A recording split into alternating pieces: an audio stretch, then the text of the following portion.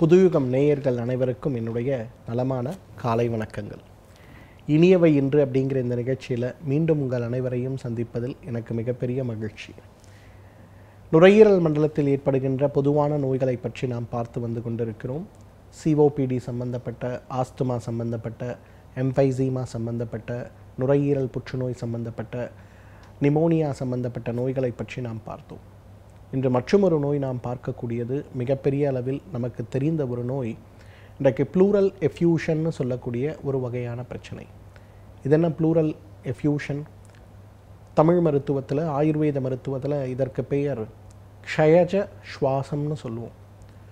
நுரையீரல் திசுக்கள் அனைத்துமே பாதிக்கப்பட்டு நுரையீரல் முழுவதும் நீரோ சளியோ இரத்தமோ அல்லது வேறு ஏதேனும் திசுக்களோ நிரம்பி இருக்கக்கூடிய ஒரு சூழல் தான் இன்றைக்கு ப்ளூரல் எஃப்யூஷன்னு சொல்லக்கூடிய ஒரு பிரச்சனை.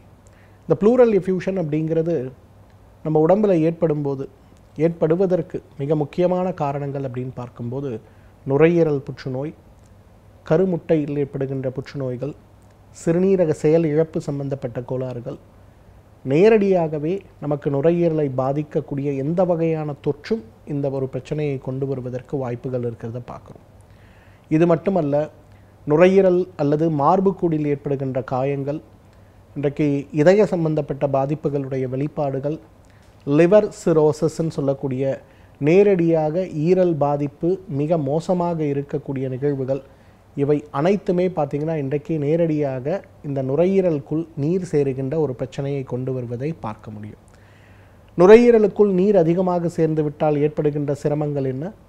மூச்சு விடுவதில் ஏற்படுகின்ற சிரமங்கள் செயற்கை சுவாசம் கொடுத்தாலும் கூட நுரையீரல் மூச்சை எடுத்துக்கொள்ள முடியாத அளவுக்கு சிரமப்படுகின்ற நிகழ்வுகள் பசியின்மை மற்றும் கடுமையான உடல் எடல் குறைந்து கொண்டே வரக்கூடிய பிரச்சனைகள் உடலுடைய ஆரோக்கியம் சம்பந்தப்பட்ட மிகப்பெரிய ஒரு சவால் அப்படின்னு அன்றைக்கு நிச்சயமாக ப்ளூரல் எஃப்யூஷனை நம்ம சொல்ல முடியும்.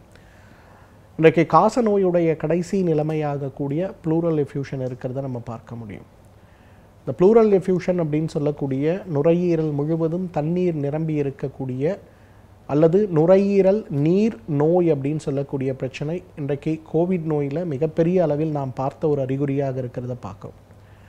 எல்லா வகையான புற்றுநோய்கள்லையும் குறிப்பாக நுரையீரல் புற்றுநோய்களில் இதுதான் மிகப்பெரிய சவால். புற்றுநோய்க்கான சிகிச்சை நாம் கொடுக்கும்போது கூட நுரையீரலில் மீண்டும் மீண்டும் தண்ணீர் கோர்த்து கொண்டே இருக்கும்போது ஊசியை கொண்டு அந்த தண்ணீரை வெளியே எடுக்கக்கூடிய முயற்சிகளோ அல்லது நேரடியாக மருந்துகளை உள்ளே இட்டு அதை மாற்றக்கூடிய முயற்சிகளோ செய்யும்போது சில நேரங்களில் இந்த முயற்சி பலனளிக்காமல் போகும்போது உயிருக்கு ஆபத்து ஏற்பட்டு விடுவதை நம்ம பார்க்க முடிகிறது. இது சம்பந்தப்பட்ட பிரச்சனையும் இன்றைக்கு மிகப்பெரிய அளவில் ஏற்பட்டு கொண்டிருக்கிறத நம்ம பார்க்குறோம்.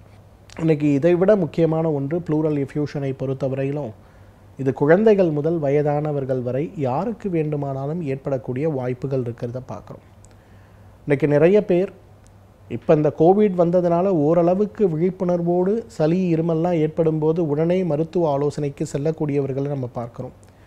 நான் ஒரு ஐந்து வருடம் முன்பு பத்து வருடம் முன்பெல்லாம் பார்த்தீங்கன்னா பெரும்பாலும் சாதாரணமாக ஆரம்பிக்கக்கூடிய சளி இருமலுக்கு தேவையான முறையான ஒரு சிகிச்சையை எடுத்துக்கொள்ளாத போது இந்த ப்ளூரல் எஃப்யூஷன் மிகப்பெரிய பாதிப்பை உண்டாக்கக்கூடியதாக இருக்கிறத பார்க்குறோம்.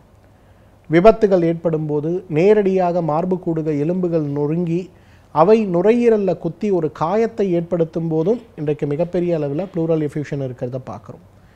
இதயம் சார்ந்த நோய்கள் ஏற்படும் போது அதற்கான முறையான சிகிச்சை எடுத்துக்கொள்ளாத போது ஈரல் சார்ந்த சிறுநீரகம் சார்ந்த நோய்கள் ஏற்படும் போது இதற்கு முறையான சிகிச்சைகள் எடுத்துக்கொள்ளாத போது எல்லாவற்றுக்கும் மேலே பார்த்தீங்கன்னா இன்றைக்கு நுரையீரல் செயலிழப்பு நோயின்னு சொல்லக்கூடிய சிஓபிடி ஆரம்பித்து நிமோனியா ஆரம்பித்து இவையெல்லாம் ஓரளவுக்கு பெரியதாக மாறும்போது நமக்கு ஏற்படுகின்ற சவாலான ஒரு பிரச்சனையாக இந்த ப்ளூரல் எஃப்யூஷன் இருக்கிறத பார்க்குறோம்.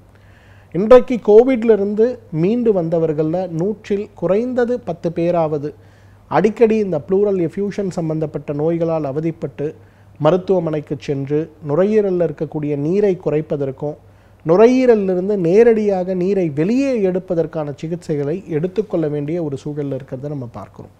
வாந்தி எடுப்பாங்க. காலையில் எழுந்த உடனே ப்ரஷ் பண்ணிட்டு வாந்தி எடுக்கும்போது நுரை நுரையாக சவ்வு போல சளி நுரையீரலிலிருந்து வாந்தியாக வெளிவருவதை நம்ம பார்க்க முடியும். நிறைய வெளியில் வருவதை பார்ப்போம். நம்ம யோசிப்போம் எவ்வளவு சளி நம்ம உடம்புக்குள்ளே இருக்கா? அப்படின்னு. ஆனால் அதை பார்ப்பதற்கு சளி போலவும் இருக்காது. நுரை போலவும் இருக்காது. ஒரு நூல் போல உள்ளே இருந்து வந்து கொண்டே இருக்கிறத பார்க்க முடியும்.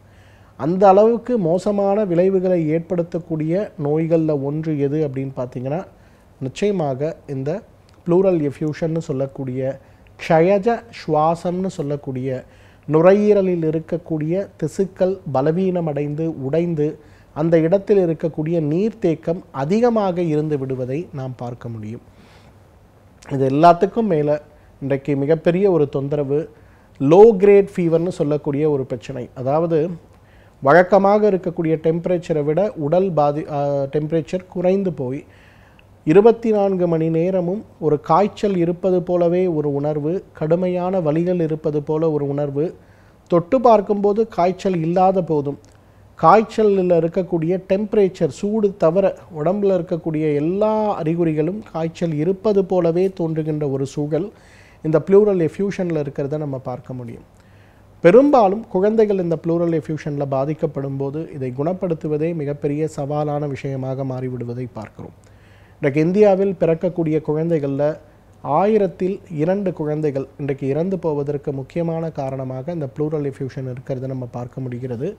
எழுபது வயதுக்கு மேலே இருக்கக்கூடியவர்களில் நூற்றில் ஒருவராவது இந்த ப்ளூரல் எஃப்யூஷனால் தினசரி உயிரிழந்து கொண்டிருக்கிறார் அப்படிங்கிறது தான் இன்றைக்கு ஒரு அதிர்ச்சிகரமான தகவல். இயற்கை சிகிச்சைகளை கொண்டு இந்த ப்ளூரல் எஃப்யூஷன் சம்பந்தப்பட்ட விஷயங்களை குணப்படுத்த முடியுமா? நிறைய வாய்ப்புகள் இருக்கிறத நம்ம பார்க்குறோம். நாம் ஏர்லி டயக்னோசிஸ் பெட்டர் ப்ராக்னோசிஸ்ன்னு சொல்கிற மாதிரி சீக்கிரமாகவே உடல் ஆரோக்கியத்தை உணர்ந்து கொண்டோமேயானால் இதை குணப்படுத்துவது மிக மிக சுலபமான ஒரு விஷயம்தான். மீண்டும் நாளை மற்றும் ஒரு ஆரோக்கிய குறிப்போடு உங்களை சந்திக்கிறேன். அதுவரை உங்களிடமிருந்து விடைபெறுவது டாக்டர் கௌதமன். நன்றி வணக்கம்.